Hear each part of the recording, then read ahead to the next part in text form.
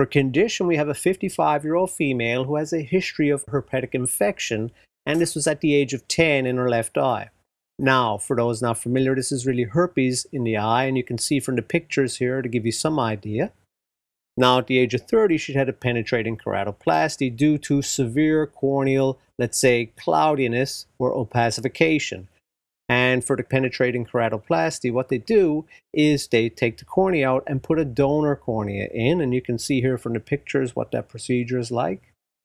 And during this last year, she started to complain that her left eye, that one with the history, is having a decreasing visual acuity. She also had redness and discomfort. And three months prior to the start of cure, she'd seen another ophthalmologist who prescribed corticosteroid eye drops, but there was no change as a result. So to start a cure exam, visual acuity 2025 in her right eye and 2060 in her left eye.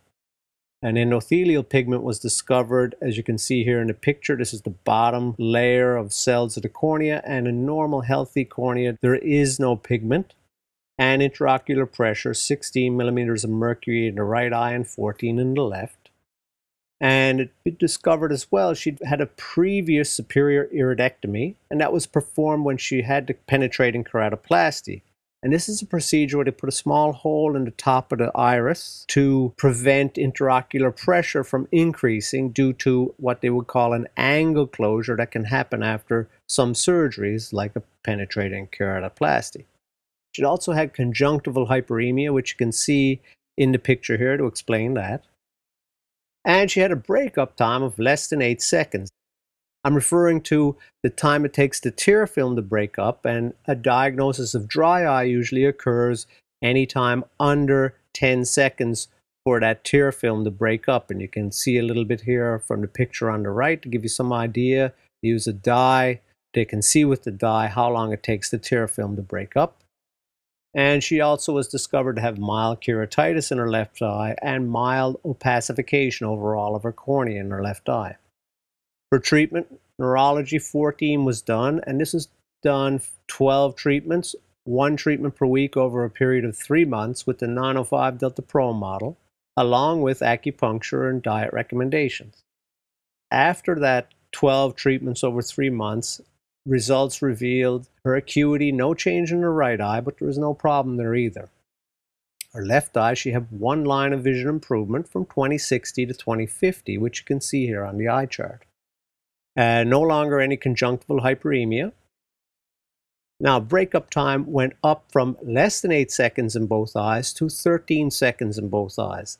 And remember, less than 10 is dry eye, 15 and above is good breakup time and also no keratitis any longer.